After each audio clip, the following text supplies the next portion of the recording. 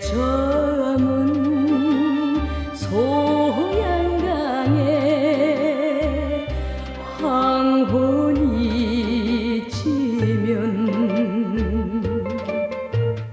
외로운 갈대밭에 슬피 우는 부견새야. 열려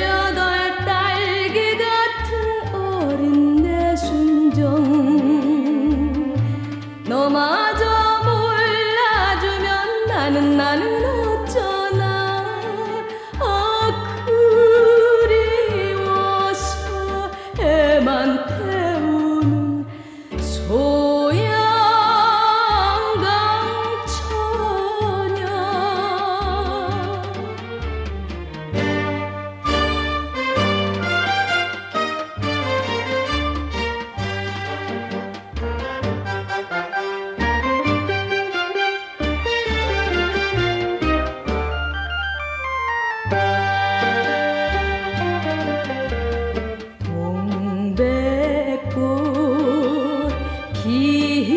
지는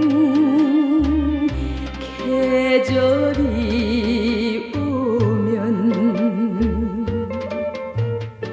돌아와 주신다고 맹서하고 떠나셨죠.